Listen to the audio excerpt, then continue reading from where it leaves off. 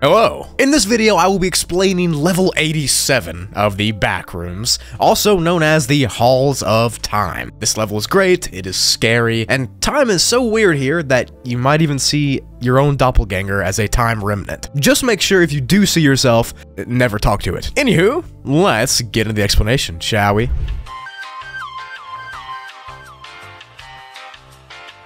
Level 87 of the Backrooms is the 88th level in the Catalog of Lore, and it's been given a classification of a Class 1 difficulty, which means it is safe and secure with a small entity count. Now, the level and its content was discovered way back in the year of 2004 in the month of May, and it has been described as the following. The level consists of hallway corridors that are miles and miles long very similar to level 21. The hallways are plain and nondescript here, and even can be considered dingy to an extent, with harsh yellow lighting coming from the lights above. Alongside these cramped, liminal-esque hallways, there are locked doors on either side of the hallway that always seem to be barred or locked shut somehow.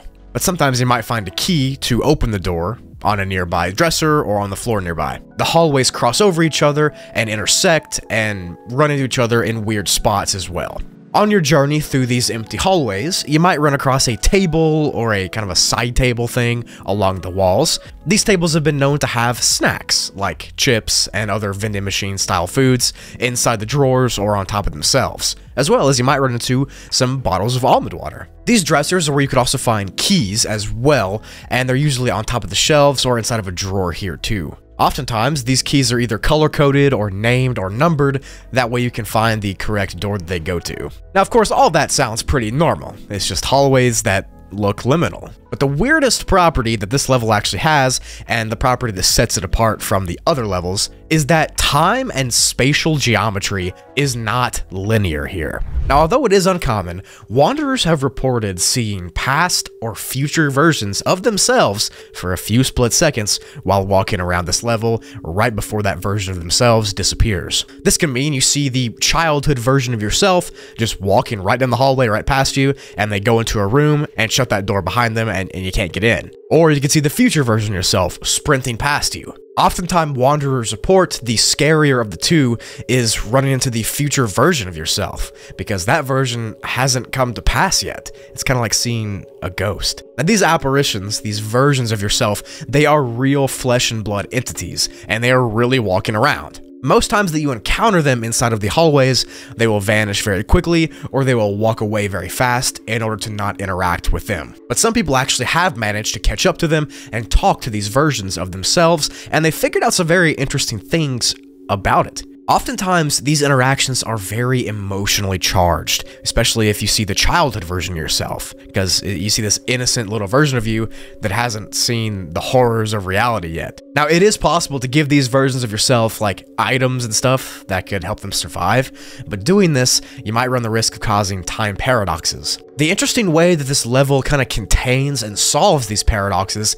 is they create an infinite time loop of these past versions and the future versions of the level that kind of go out over and over again, which offsets the paradox that you yourself just made. And these are the loops that can cause the Wanderers to have these strange interactions with their past self or their future self. Interacting, like I said, with these different versions could be very emotional, but it also could be very damaging to your mental health. It'll seem very, very uncanny talking to the spitting image of yourself, whether it's the past or the future, right in front of you. You won't be able to think about it. It doesn't seem real. It's also important to note that these anomalies do not always happen to people while they're exploring this level. You're not guaranteed to see the past version yourself, but it is pretty common. And if the level chooses to show you this past or future self, it's almost as if the level has chosen you as an important person for some reason. But just a general rule of thumb is that if you see yourself, whether it's the past or the future, do not interact with that thing because you don't want to mess up the timeline more than it already is. We don't really know the effects that it has outside of this level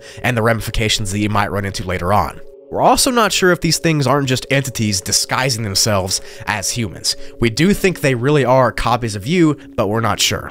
So just play it safe and do not interact with them. Anyways, back to the level part, the rooms that you can get into, using those keys in the doors, are accessible from the hallways. These rooms are really nothing to note. They're just plain bedroom style lodgings, kind of similar to hotel rooms or motel rooms, except they might be empty without any furniture here. This level is not described outright as a hotel or office complex, as there's no real defining features that would show exactly what it is. So it doesn't look like an office, doesn't look like a hotel. It just seems to be these arbitrary, randomly placed empty rooms and empty hallways. There's no rhyme or reason to any of it, yet there is rhyme and reason to all of it. The main thing you need to know while you're exploring level 87 is that you got to be very careful when you interact with your past or future self. Like I said, we don't know if those versions are actually you, and they have been known to show aggression sometimes if you attack them. Some people have even claimed that these versions have tried to unalive the real version of you, and if that happened, well, the time paradox would be unfixable at that point. It's also unknown how this even happens, so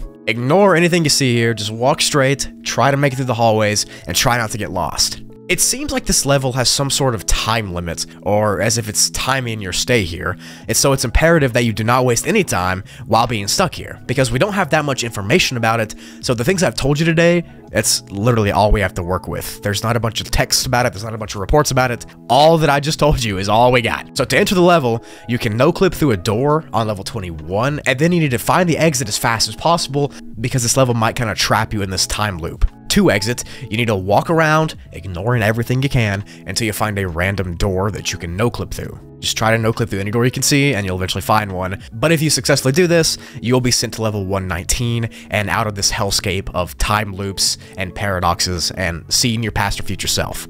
This is one of those backrooms levels that is so uncanny to even think about. These empty, nondescript, almost sanatorium-like hallways with nothing else but time paradoxes constantly happening where you're running into the past, future, or even current version of yourself. There's no known information on how the level does this or why it does this, but just as a general rule of thumb, like I've said 15 times in this video, do not interact with that person. That is not you, that is not a friend, it is something that's probably malevolent.